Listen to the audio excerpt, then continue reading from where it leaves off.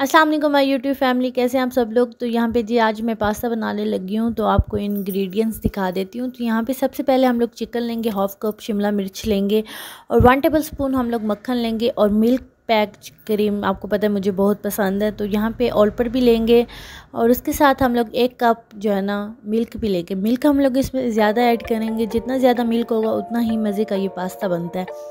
और उसके बाद आज मैंने नया पॉट निकाल ही लिया है। तो नॉन स्टिक का ये है तो ये आज मैंने निकाल लिया रमज़ान के लिए स्पेशली मैंने इसे रखा हुआ था कि रमज़ान में यूज़ करूँगी। तो उसके बाद अब मैरिनेट करते हैं हम लोग चिकन को। अच्छा जी चिकन में मैंने जो है ना जिंजर और गार्लिक का पेस्ट ऐड कर दिया है।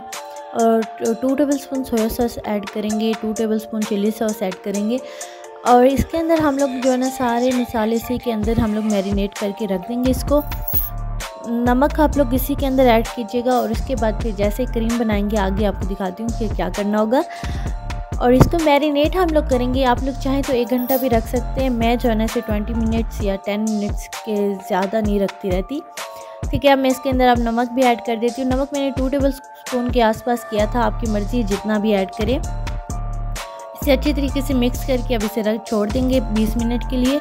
20 मिनट बाद दिखाती हूँ। 20 मिनट के बाद हमने जो है ना वन टेबल स्पून ऑयल ले लेना है और चिकन को जो हमने मैरिनेट करके रखा था, उसे इसके अंदर फ्राई करना है और थोड़ा सा पानी भी ऐड कर देंगे, क्योंकि पानी के बगैर ज़ाहिर पता चिकन जल जाएगा नीचे से। तो उसके बाद शिमला मिर्च ऐड करेंगे। शिमला मिर्च को थोड़ी देर इसमें कुक करेंगे और इसको बंद कर देंगे। और उसके बाद जी यहाँ पे जो चम्मच का सेट मैं पहले लेके आई थी, ये मैंने आप लोगों के साथ शेयर किया था तो इसको भी निकाल लेंगे। इसमें से देख रही हूँ कि कौन सा चम्मच ज़्यादा सही रहेगा पास्ता को कुक करने के लिए। निकाला है इससे ना किसी को मारना तो बहुत मज़े से मार सकते हैं आप लोग। तो ये देखें जी ये इसको निकाला और इंशाल्लाह कुछ दिन तक मैं तैयारी भी करूँगी सबकी वो भी शेयर करूँगी दावत में क्या क्या बनाऊँगी मैं। चलिए आप बनाना स्टार्ट करते हैं। यहाँ पे जी वन टेबल स्पून मक्खन लिया और इसमें टू टेबल स्पून के आसपास हम लोग कुकिंग ऑयल ऐड कर देंगे और यहाँ पे सेवन टेबल स्पून मैंने मैदा ले लिया था। अब इसे स्टार्ट करेंगे और अगर मुझे ज़रूरत पड़ी कुकिंग ऑयल में थोड़ा सा और भी ऐड कर दूँगी। तो हमने आग को बहुत ही कम कर देना है और हम इसे मिक्स कर लेंगे। बीटर हो तो बीटर की हेल्प से मिक्स कीजिएगा वरना आप लोग चम्मच से भी कर सकते हैं जैसे मैं कर रही हूँ। लम्स हमारे कोई भी नहीं रहना चाहिए वरना हमारा पास्ता गंदा बनेगा। हमने हल्के हाथों से इसको सारा मिक्स कर लेना है। ठीक सारा मिक्स किया है। तो यहाँ देखें कुछ भी लम्स नहीं है और थोड़ा सा पानी ऐड करेंगे। अब आ, फ्लेम हम लोग तेज़ कर देंगे और इसे चिकन ऐड कर देंगे और शिमला मिर्ची भी ऐड कर देंगे। छोड़ देंगे पाँच छः आने के बाद फिर हम जो है ना बबल्स पॉप कर रहे हैं तो मैंने सोचा थोड़ा सा एक क्लिप ले लेती हूँ। तो ये बरीरा और उसके बाबा दोनों दोनों खेल रहे हैं आपस में। मामा कर लिया आपने? नहीं हो रहे?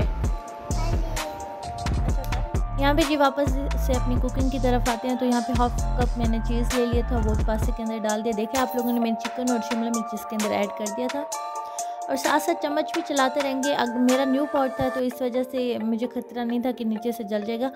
लेकिन जिसका पुराना पॉट हो तो उसका थोड़ा सा खतरा होता है कि नीचे से लग जाएगा। और यहाँ पे आप, हम लोग माइनीज़ और करीम ऐड कर देंगे। आप लोग चाहें तो मायनीज़ या करीम के दो पैकेट भी ऐड कर सकते हैं। मैंने मायनीज़ यहाँ पे थ्री टेबल स्पून लिया था, एक पैकेट मैंने क्रीम का लिया था। और यहाँ पे मैंने इसको स्प्रेड कर दिया। इसे एक मिनट के बॉईल के बाद हम लोग इसके अंदर मिक्रोनी ऐड कर देंगे। मिक्रोनी भी कह सकते हैं भाई पास्ता भी कह सकते हैं तो मैंने इसमें ऐड कर दिया है। अब मैं इसे एक बार स्टार्ट करूँगी, थोड़ी देर के बाद मैं इसे उतार लूँगी। अब मैं यहाँ पे जी डिश आउट करने लगी हूँ तो यहाँ पे डिश आउट कर लेंगे। मैंने थोड़ी सी क्रीम रखी थी, क्योंकि मेरी फैमिली को क्रीम अच्छी लगती है तो इस वजह से मैंने क्रीम इस बिल्कुल ख़त्म नहीं किया, इसको पास्ते को ड्राई नहीं किया तो इसलिए आप इसे डिश आउट कर लेंगे। और ये बहुत मज़ेदार पास्ता बनता है, देसी स्टाइल में आप लोग ज़रूर ट्राई कीजिएगा। अब यहीं पे व्लॉग एंड करूँगी, मिलते हैं नेक्स्ट व्लॉग में। अल्लाह हाफिज़।